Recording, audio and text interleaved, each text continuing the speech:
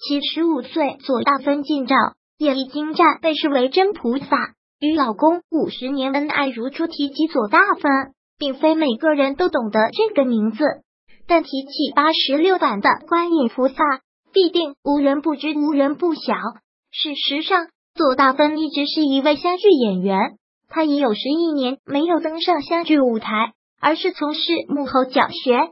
受中国戏剧节约请，左大芬决意再度出山。观音在中国人的心目中是一位非常圣洁。慈悲为怀的女神，这才是真正的女神，是一位不容亵渎的菩萨。西游世界的观音与民间传说的观音形象还是有一定区别，因此杨洁在拍八十六版《西游记》时，挑选观音的演员肯定动了不少心思。左大芬老师扮演的观音，绝对是最美菩萨，也是最符合心目中的观音形象。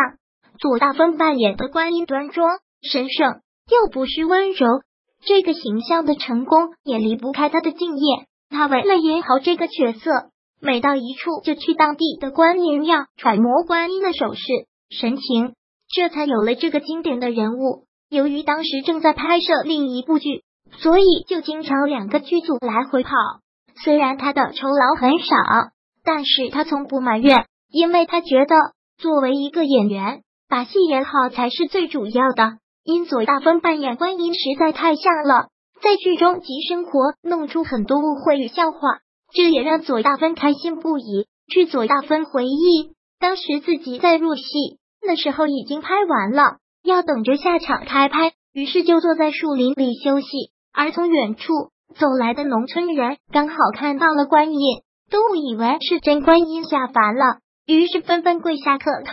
不管左老师怎么解释，他们都表示不相信，甚至还有人现场哭了起来，而且送上水果和土特产等免费贡品。左大芬一直弄不明白，也一直感到很奇怪的是，好几次拍戏的时候，天正在下雨，等到他出场，天气就会变得晴朗起来。又一次在峨眉山，他穿的很单薄，天又下着雨，他一出场，雨居然不下了。风也不刮了，躲在在云层里的太阳也出来了。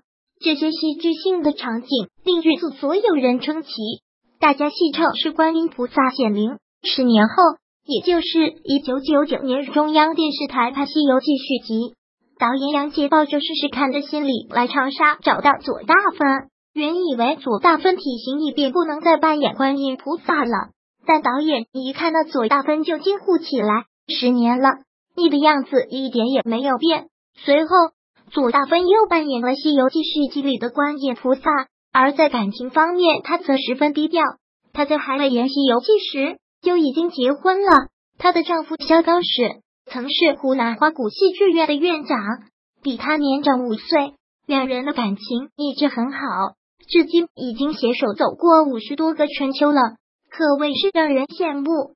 左大芬一九四三年出生于湖南长沙，如今左大芬已经是一个七十五岁的老人。而看了那么多的观音扮演者，就数老版《西游记》中观音最经典了。